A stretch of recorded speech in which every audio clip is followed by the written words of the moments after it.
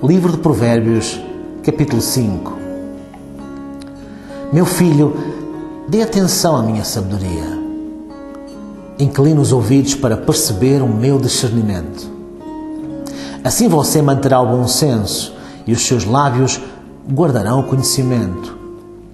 Pois os lábios da mulher imoral destilam mel, a sua voz é mais suave do que azeite, mas no final é amarga como fel, afiada como uma espada de dois gumes. Os seus pés descem para a morte, os seus passos conduzem diretamente para a sepultura. Ela nem percebe que anda por caminhos tortuosos e não enxerga a vereda da vida. Ouça então, meu filho, ouça-me não se desvie das minhas palavras, fique longe dessa mulher. Não se aproxime da porta de sua casa, para que você não entregue aos outros o seu vigor, nem a sua vida a algum homem cruel. Para que estranhos não se fartem do seu trabalho e outros não se enriqueçam à custa do seu esforço. No final da vida você gemerá com a sua carne o seu corpo desgastados. Você dirá: Como odiei a disciplina como meu coração rejeitou a repreensão.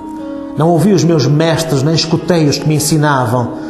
Cheguei à beira da ruína completa à vista de toda a comunidade. Beba das águas da sua cisterna, das águas que brotam do seu próprio poço. Por que deixar que as suas fontes transbordem pelas ruas e os seus ribeiros pelas praças? que elas sejam exclusivamente suas, nunca repartidas com estranhos. Seja bendita a sua fonte, alegre-se com a esposa da sua mocidade. Gazela amorosa, corça graciosa, que os seios da sua esposa sempre o fartam de prazer e sempre o embriaguem os carinhos dela. Por que, meu filho, ser desencaminhado pela mulher imoral?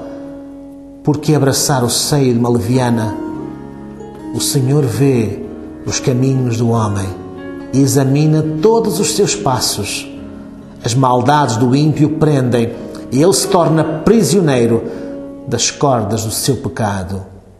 Certamente morrerá por falta de disciplina, andará cambaleando por causa da sua insensatez.